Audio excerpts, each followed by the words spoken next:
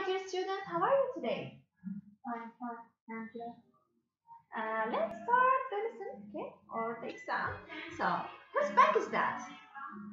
Uh, it, it's Jenny's bank. All right. What can you do? You can swim. What can you do? I can swim. All right. So, do you have? I have a key. Okay, that's good. Do you have a comic book? Uh, no, No.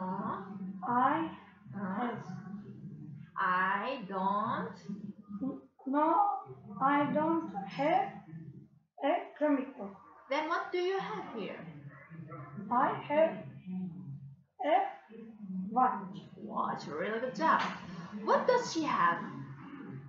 She has a music player. Okay, very good. Please read these words for me. Brush, Okay. bright, small, snail, snow. Okay, read this passage now.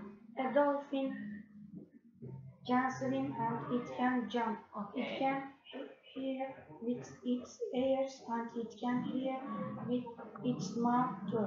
A dog, dolphin plays lots of games. This is a bat. It has wings and it can fly. The bat sleeps in the day and it flies at night. Okay. It can hear very well too. An elephant is a very big animal. It can hear with its ears and it can hear with its nose too.